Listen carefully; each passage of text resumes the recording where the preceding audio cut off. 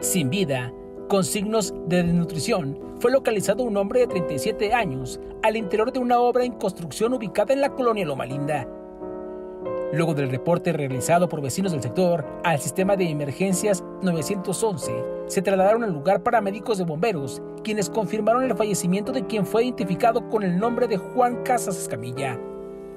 Fue en una vivienda en obra negra, donde el ahora fallecido vivía, de acuerdo a sus familiares, ya tenía meses que no se le veía. El individuo fue hallado en estado de desnutrición, no tenía huellas de violencia, por lo que se presume murió por causas naturales, pero será la necropsia de ley la que indique las razones de su deceso. Personal de la Policía Municipal colocó la cinta de seguridad en un área perimetral amplia, en lo que agentes de la Fiscalía General del Estado llevaban a cabo las diligencias correspondientes. El cuerpo fue trasladado a bordo de una carroza a las instalaciones del Servicio Médico Forense en presencia de familiares que se dieron cita en el lugar para identificar el cadáver. Imágenes e información de Carlos Hinojosa, RCG Noticias.